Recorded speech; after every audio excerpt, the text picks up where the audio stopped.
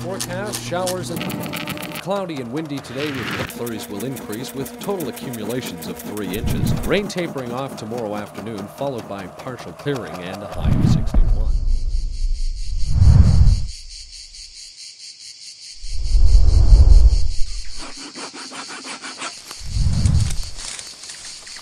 The sleepless nights are no stranger to us right now. We lay awake at night, analyzing travel corridors, strategizing stand placements, and dreaming of ambush points. Eventually, we just can't take it anymore, and we have to get out there.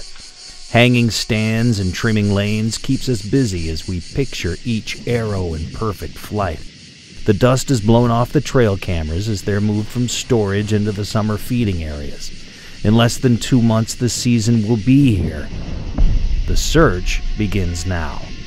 We never know what awaits us as Velvet swells along with our hopes for the coming season. We could be reunited with a deer that we've been following for years, or we could find a new monarch to happily haunt our dreams for the seasons to come. That's the best part about summer.